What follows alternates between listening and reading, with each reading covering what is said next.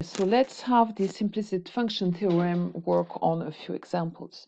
Uh, let's begin with well one very uh, uh, simple example close to what we were doing earlier about the circle. Well, the, uh, the, the, the, the, thing I drew with this downward looking parabola and the uh, level line corresponding to, the, uh, to a circle. Okay, so let's do something like I'm looking at this function. Well, that would be rather an upward looking parabola. And I'm looking at zero level line. Okay, of course you know how to solve that. Data are going to be all the points x2 plus y2 minus 1 equal to 0. So x2 plus y2 is equal to 1. So that's the unit circle. Okay, but let's put that aside for a moment and let's try to uh, see that under the angle of the um, uh, of the uh, implicit functions theorem. So what does my implicit implicit functions theorem say? It tells me that um, if ever df over dy is different from zero, so let's say you've got some um, points, well, you whichever you want. Uh, let's take uh, y is equal to 1, x is equal to 0, for instance. That would be a nice point, a, b. Uh, but I'm going to study df over dy. Okay, what do I do that? Because that's one of the hypotheses of the theorem. Well, that's the sole hypothesis of the theorem. We should have df over dy different from zero.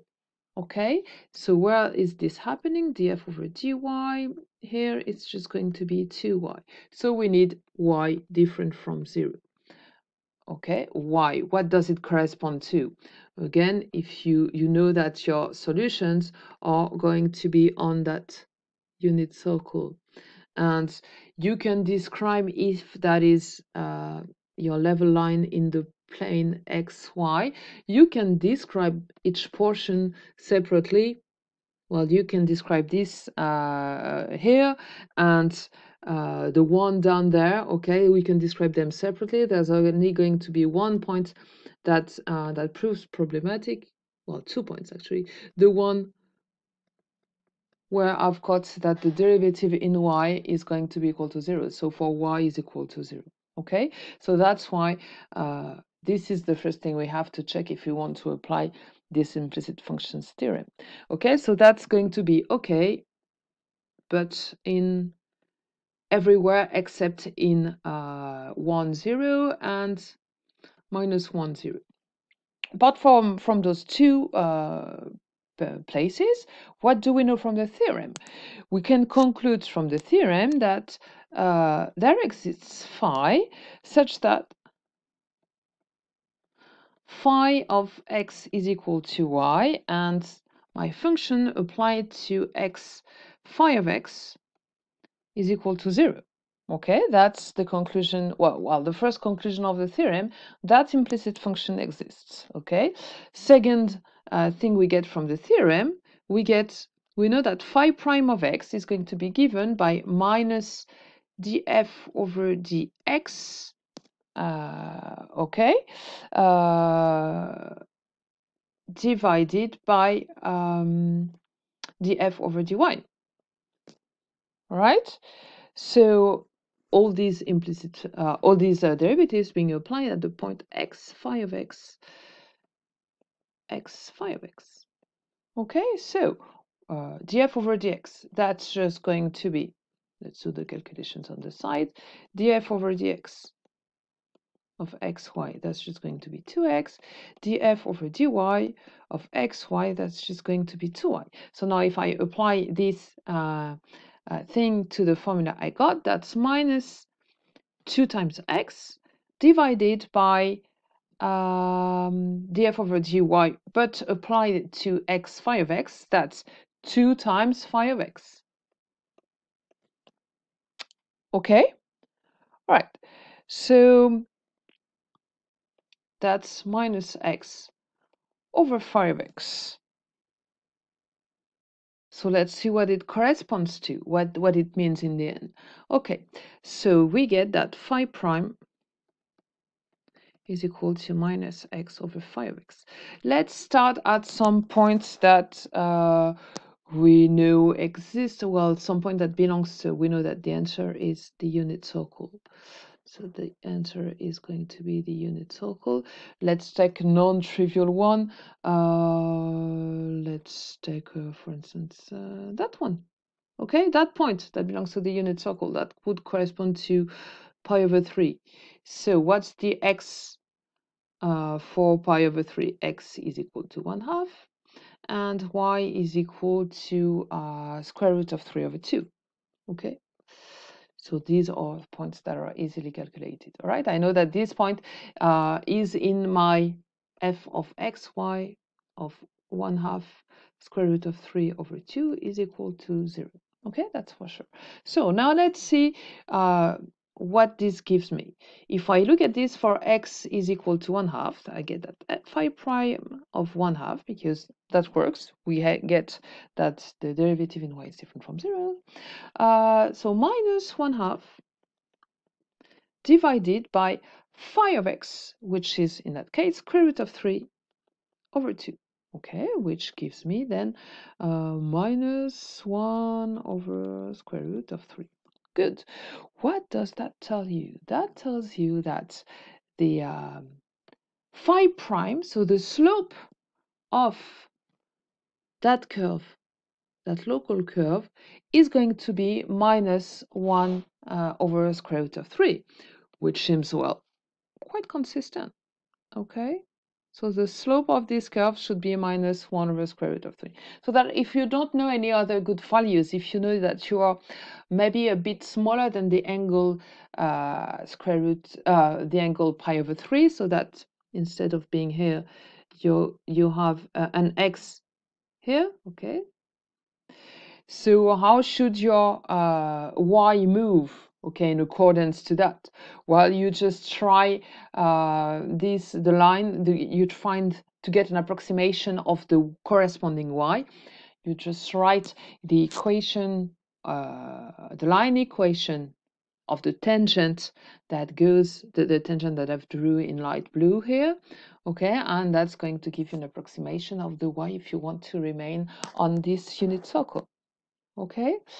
So um, uh, well you can also check that it is absolutely consistent with what you expected. Actually you know that y should be given by on the upper side by the square root of 1 minus x2 so um, you get that that and that would be the real phi of x. So that phi prime of x would be given by so 1 over 2 times minus 2x over uh, square root of 1 minus x squared Okay, so that's uh, the derivative of this function, which, well, you can simplify this as minus x over square root of 1 minus x2. So in our case, what do we have? Uh, we get the minus uh, x was 1 over 2, so minus 1 over 2 over uh, square root of 1 minus 1 over 4 so that's uh, square root of uh, 3 over 4. So that's square root of 3 divided by 2.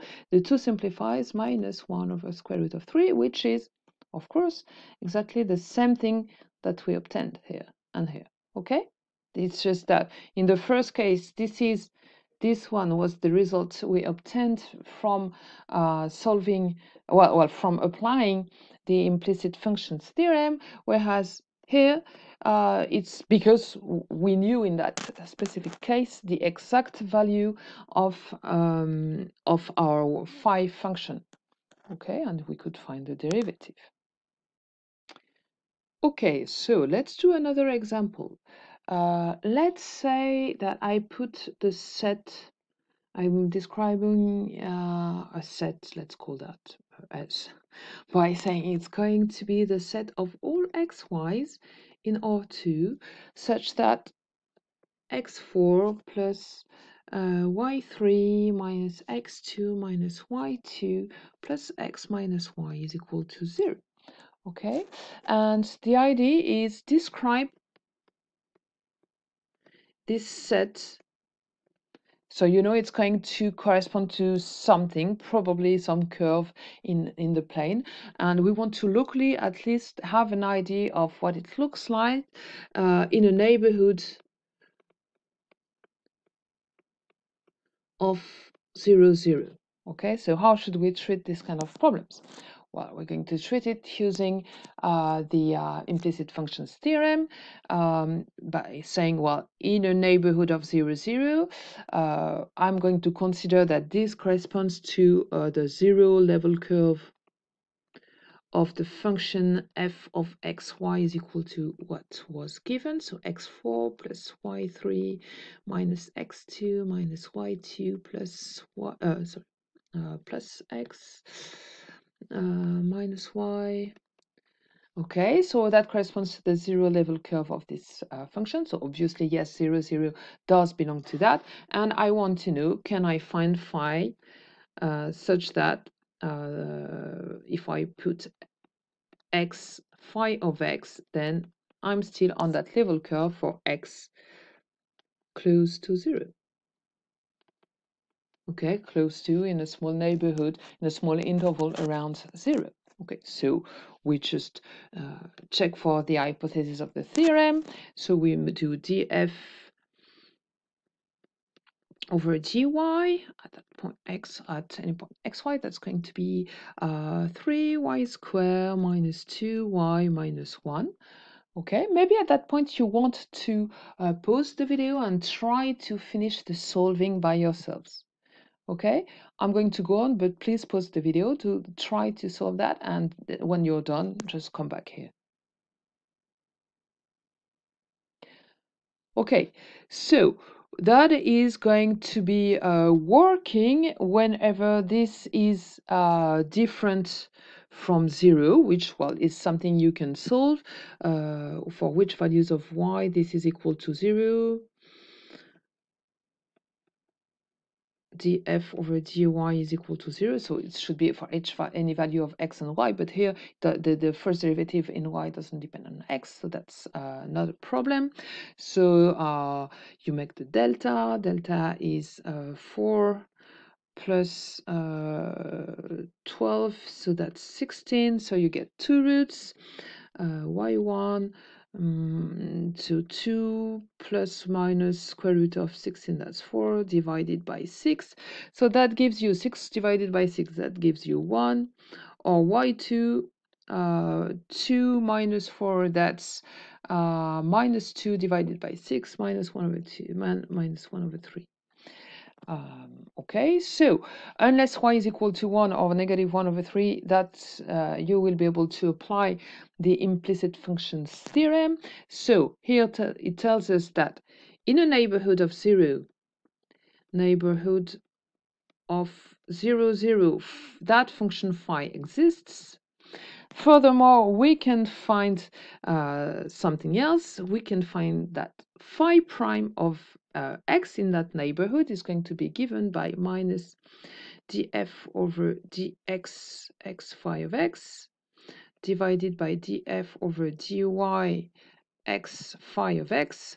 Okay df over dx being so let me compute that on one side. df over dx will be 4x3 minus 2x plus 1 so in particular at uh, 0, I get that phi prime of 0 is going to be given by minus, uh, 1 over uh, minus 1, so plus 1, okay? So that tells you that your curve is going through that point, but furthermore, it has um, this tangent, okay?